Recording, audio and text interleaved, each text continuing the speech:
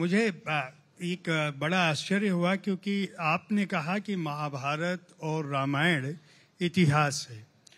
और जो साहित्य जगत है या जो लोग सृजन करते हैं या जो अभी तक जिस विचारधारा पर आज कल वामपंथी विचारधारा है, वो कहती है कि ये एक केवल कहानियाँ हैं और कपोल कल्पित हैं और ये काल्पनिक है। आपने कहा ये इतिहास है, ये एक नया एंगल है जो आपको जो लोग सोशल मीडिया पे आपके पीछे पड़े रहते हैं, उनके लिए भी ये बड़ी बहुत महत्वपूर्ण वाक्य है। देवदत्त जी का, इसको आप रिकॉर्ड करके रखिए। मैं जानना चाहूँगा कि ये धर्म क्या है? धर्म एक ऐसा शब्द है जिसको लेकर बहुत सारे संकट और विवाद समाज में है। धर्म क्या है? और फिर मैं जानना चाहूँगा कि भगवान क्या है ये? गॉड भगवान ईश्वर अल्लाह और यहोवा। क्या सब एक हैं या अलग हैं? तो आ, अभी इतने प्रश्न शब्द बोल दिए मुझे पहला शब्द कौन सा था? धर्म। धर्म। धर्म।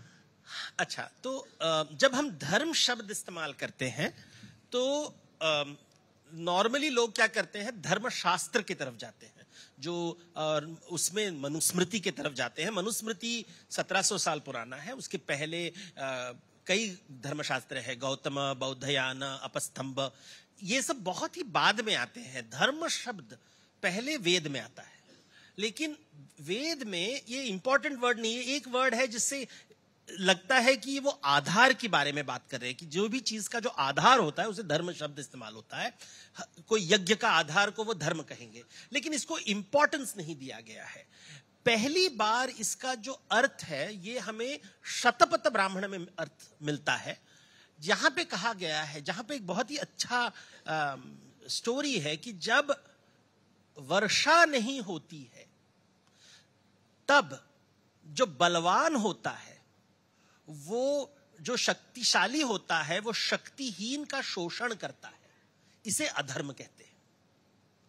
तो इसका मतलब है कि धर्म का अर्थ उसका विपरीत है। जब शक्तिशाली, शक्तिहीन की रक्षा करता है और पोषण करता है तब उसे धर्म कहा जाता है। इसलिए विष्णु पुराण, जो बहुत बाद में लिखी गई है, पहला अवतार विष्णु जी का मत्स्य अवतार का है, जहाँ पे मनु छोटी मछली को बड़ी मछली से बचाते हैं।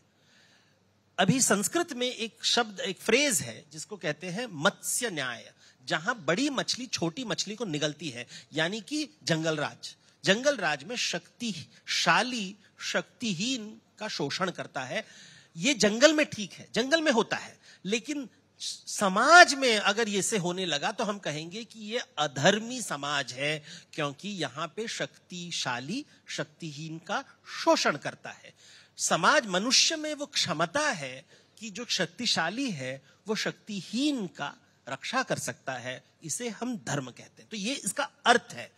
अभी इसको बाद में बुद्ध ने शब्द धम्म इस्तेमाल किया कि दुनिया को समझाने के लिए कहा ये धम्म है, दुनिया ऐसे ही है। और वो उन्होंने दुनिया को समझ, जैसे दुनिया है, उसको समझाते, उस, उनकी जो व्याख्या है, उनको उन्होंने धम्म कहा। और धम्म में उन्होंने कहा कि अगर धम्म जानना है तो तुम्हें सांसारिक जीवन से सन्यास के तरफ़ आना पड़ेगा। तो इसके विपरीत हिंदुओं ने कहा कि जो जो बौद्ध के विरुद्ध कर रहे थे कि नहीं नहीं नहीं, सांसारिक जीवन के अंदर रहकर भी आप दुनिया को समझ सकते हैं तो उन्होंने धर्म शब्द इस्तेमाल किया। तो धम्म कहता है कि सांसारिक को सन्यासी बनना है और धर्म कहता है, हमें सन्यास नहीं, संसार के तरफ़ आना है, इसलिए धर्मशास्त्र जब लिखे गए, तभी हम सुनते हैं जैसे शिवजी की शादी होती है। तो बुद्ध क्या है? वो एक सांसारिक है और वो सन्यासी बन जाते हैं। वो शाक्य मुनि, सिद्धार्थ गौतम, जो घर छोड़ के, परिवार को छोड़ के बुद्ध बनते हैं, यानी सन्यास के तो धम्म का मार्ग होता है, धम्म पद। तो उसके विपरीत धर्म शास्त्र लिखे गए, जहाँ कहा गया कि जो आपको सन्यास, आपको तपस्वी को राजा बनना पड़ेगा। तो उन्होंने तपस्वी राजा शब्द इस्तेमाल किया। तो रामायण लिखी गई, महाभारत लिखी गई, और शिवजी की शादी होने तो पुराणों में शिवजी की शादी लिखी गई। तो ये एक नई सोच आई। तो यहाँ से धर्म शब्द आता है।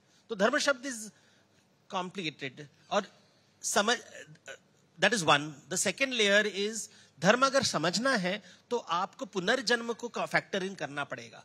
परदेश में जब लोग कहते हैं कि रिलीजन इज़ इक्वल टू धर्म, वो रॉन्ग है, क्योंकि रिलीजन शब्द उस समाज में है जहाँ पे विश्वास है कि केवल आपकी एक ज़िंदगी है। यू लिव ओनली वंस और इसके बाद कयामत है।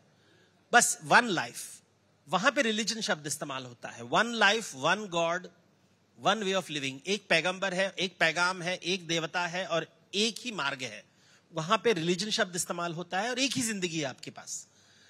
धर्म शब्द वहाँ इस्तेमाल होता है जहाँ पुनर्जन्म की बात होती है तो कर्म की बात होती है कि पाप और पुण्य की बात होती है कि मेरा पुनर्जन्म होगा, पहले जन्म, दूसरे जन्म। तो जब धर्म शब्द इस्तेमाल होता है तो उसके साथ कर्म जोड़ा जाता है। अगर कर्म नहीं होगा तो आप धर्म शब्द इस्तेमाल नहीं करते।